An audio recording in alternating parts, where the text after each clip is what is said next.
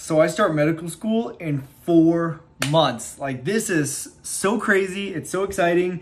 Um, I don't know what inspired me to make this video, but I've been like, you know, more neurotic than usual. I always thought I was pretty chill. I don't really like panic a lot. I don't really like overthink things. But lately I've been looking things up, uh, you know, in regards to starting medical school and tips and advice. And I'm like, I'm starting to get a little bit more neurotic. Like it's becoming more and more real. I got my orientation date. So for anyone who's keeping up with the channel, I know I still haven't put out like a video kind of summarizing my application cycle. I'm still waiting to hear back from two schools that I thought I would hear back from by December. So uh, it's not looking great, but right now I put a deposit on a DO school in my hometown and that's kind of where I'm set to go unless, you know, I hear something back from these other schools, then I'll, you know, my decision kind of might, you know, change after that. But right now I got orientation dates from July 28th through August 3rd and then starting class August 4th. So that's a little bit less than five months. So it's about four and a half months until I start medical school. And this is just crazy. Like I, I don't even know what to think. And I keep doing all this research. So I'm going to take you guys along today. I'm going to go through some of the things I've been thinking about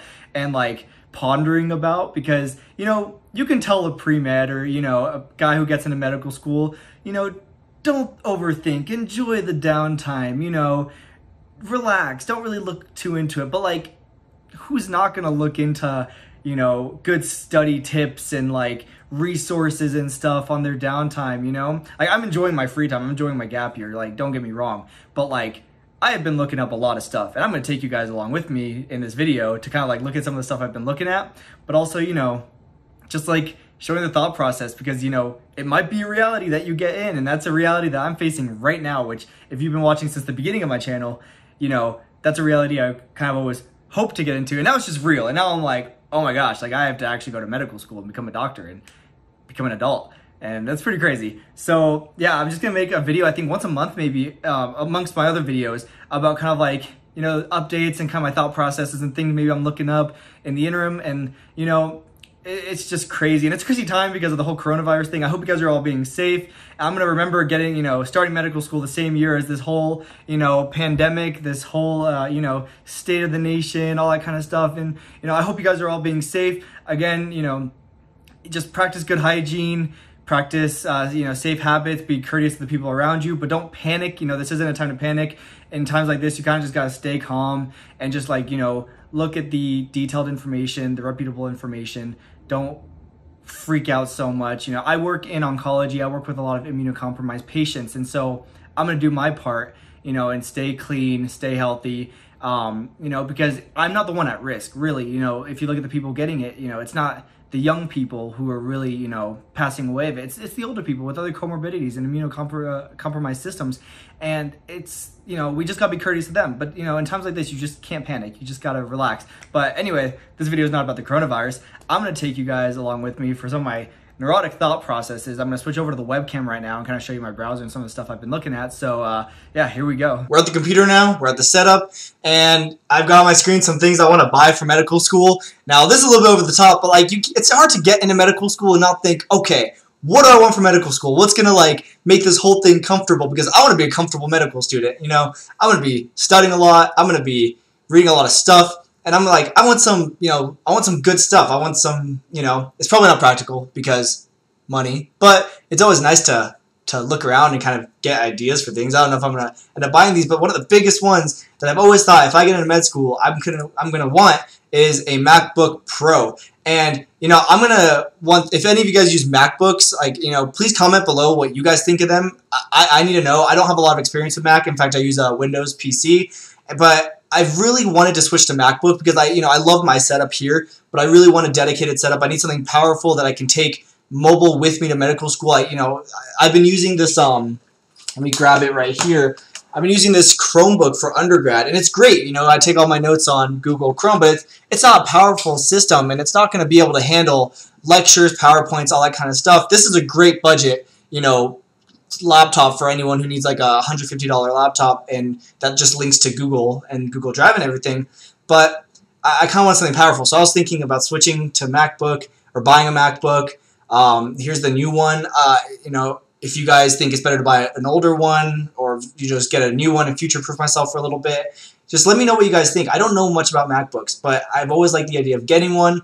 uh, a lot of like the med school YouTubers I look up to, they all use Apple stuff, and you know, I kind of thought about maybe getting an iPad to take like notes and annotate, and you know, have kind of more of a tablet that also you know links well with the MacBook. Now this this might be over the top, but I mean, if you're gonna have a MacBook and you're gonna have a home setup, you want to have you know, a nice monitor, right? so I was looking at maybe getting like an ultra wide. I have, you know, I've got my monitors. I have a triple monitor, but it's, it's kind of more of a gaming setup here. I was like, maybe, you know, one single monitor ultra wide that I can dock the MacBook in and then, you know, study. And, you know, these are luxuries. Most med students, they don't really get to live in luxury. I'm, I'm no exception. Like, I, I shouldn't be thinking, oh yeah, I'm going to spend 5000 dollars on stuff I don't need. But I mean, the idea is nice. It's nice to window shop, and I, I am genuinely thinking about buying this stuff. You know, I'm working right now in my gap year, so you know, if I wanted to, I can. But I definitely, if you guys have any input for things that you guys are gonna that you guys think are helpful, let me know. And then I was also looking at getting um, some noise. Oh, that's the same thing. Some noise canceling headphones because I have AirPods and they're great, but if I'm going to be spending a lot of time studying, I want something a little bit more comfortable in my ear.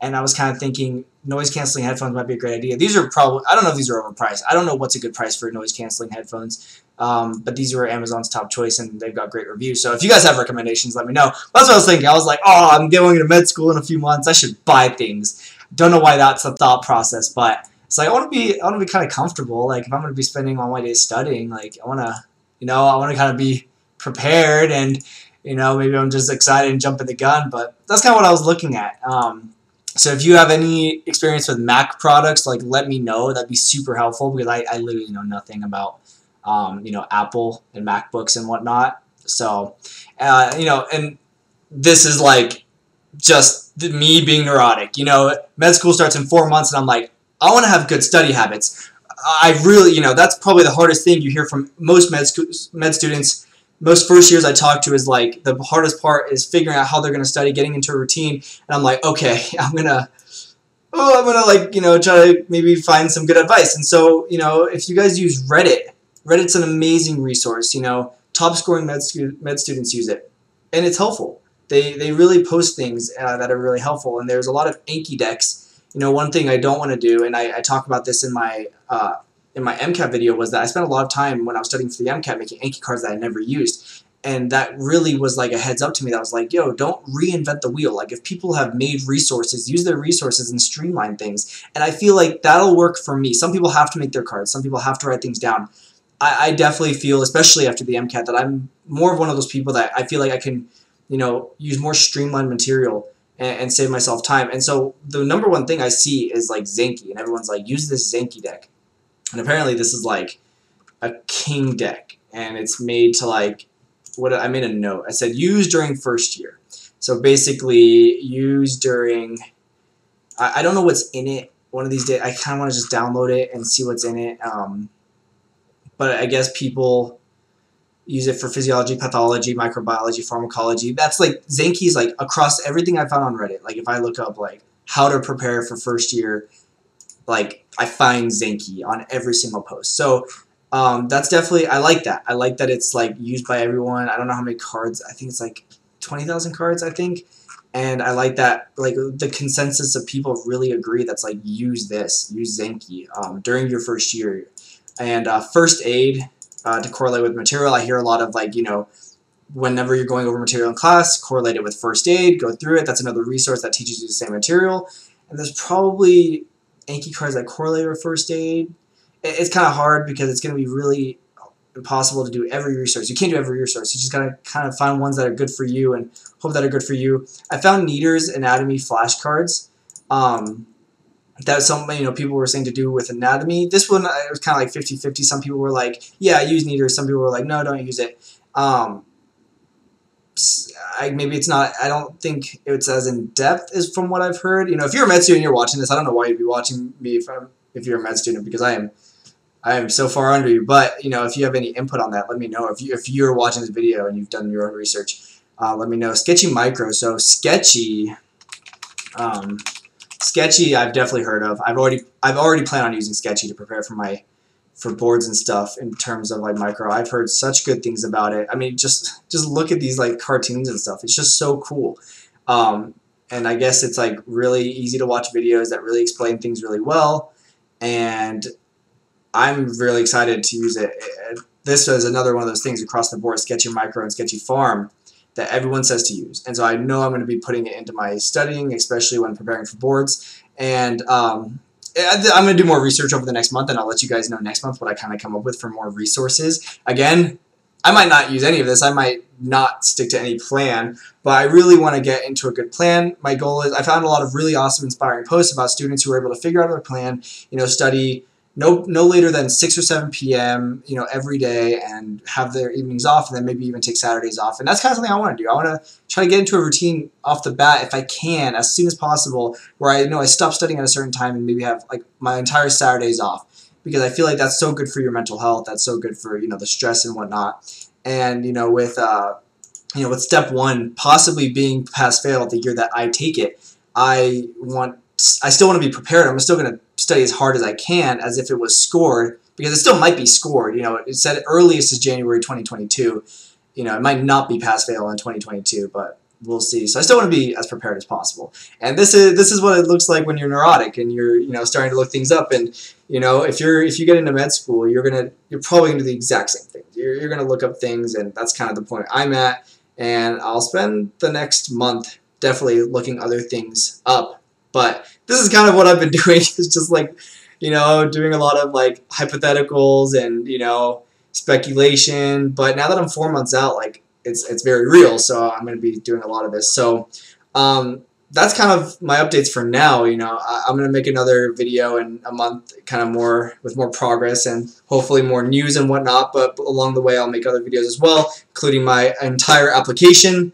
Uh, even I haven't heard back from these last two schools, and I wanted to wait, but I think you know it's getting late, and a lot of you guys are going to be applying in the next couple months. So I kind of just want to get those videos out so you guys have stuff to kind of look look towards and whatnot. So be ready for that. So yeah, that's about it. That's all I got for this video. You know, thank you guys for watching. I'm so excited that we have like 800 subscribers now, which is crazy to me. It's crazy to me that you know you guys, if you're watching actively, you're going to watch me go through medical school, and it means so much. And it's like it's almost more inspiring because it makes me really want to just work as hard as I can and do my best because I want to, you know, set a good example and, you know, make people excited to kind of be in the same position. So thank you guys. If you guys have subscribed and, you know, are watching, I, I really appreciate it. It's awesome. I, I really, you know, I'm, I'm just so happy about it. So anyways, thanks for watching. I will see you guys next time.